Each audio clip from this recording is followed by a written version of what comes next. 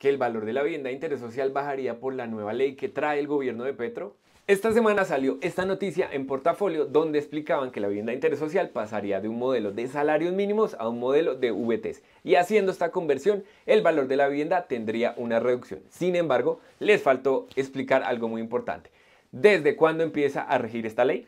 Contexto, esto es un proyecto de ley que está incluido en el Plan Nacional de Desarrollo Colombia Potencia Mundial de la Vida que quedó publicado la primera semana de febrero del 2023. El 2 de marzo del 2023 el Congreso inició discusiones de este Plan Nacional de Desarrollo presentado por el ministro de Hacienda José Antonio Campo.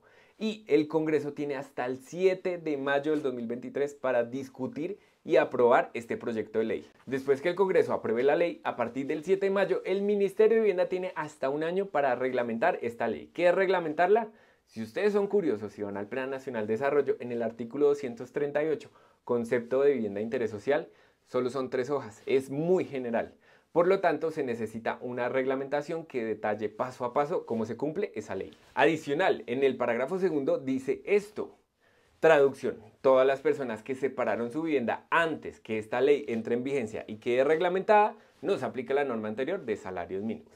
¿Para quién va a aplicar la norma? En VTs para todas las personas que separen después que esta ley entre en vigencia y quede reglamentada por el Ministerio de Vivienda.